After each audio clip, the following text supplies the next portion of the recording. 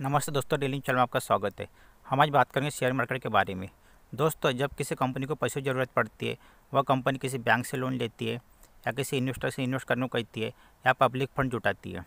दोस्तों, public fund जुटाने के लिए कंपनी को अपना आईपीओ जारी करना पड़ता है। आईपीओ यानी इनिशियल पब्लिक ऑफ़र। आईपीओ जारी करने के लिए कंपनी को स्टॉक एक्सचेंज में लिस्ट होना पड़ता है। दोस्तों, इंडिया में दो स्टॉक एक्सचेंज है। एक है नेशनल स्टॉक एक्सचेंज, दूसरा Bombay stock exchange. National stock exchange में 1600 से अधिक कंपनी लिस्टेड है और बॉम्बे स्टॉक एक्सचेंज में 6000 से अधिक कंपनी लिस्टेड है। दोस्तों, अक्सर आपने सुना होगा निफ्टी फिफ्टी। निफ्टी फिफ्टी एक इंडेक्स है। नेशनल स्टॉक एक्सचेंज में जो टॉप फिफ्टी कंपनी है, उससे मिलकर बना है निफ्टी फिफ्टी। उसी तरह बॉम्बे स्टॉक एक्सचेंज में जो टॉप थर्टी कंपनी है, उससे मिलकर बना है सेंसेक्स। दोस्तों अगर आपको किसी कंपनी का शेयर खरीदना और बेचना है, सबसे पहले आपको आपको किसी किसी अच्छे ब्रोकर के पास अपना डीमेट अकाउंट ओपन करना पड़ेगा। डीमेट अकाउंट ओपन करने के बाद ही आप अपना शेयर खरीद और बेच सकते हैं। दोस्तों, अपना डीमेट अकाउंट ओपन करने के लिए मैं डिस्क्रिप्शन में लिंक दिया हूँ, उससे आप डीमेट अकाउंट ओपन कर सकते हैं।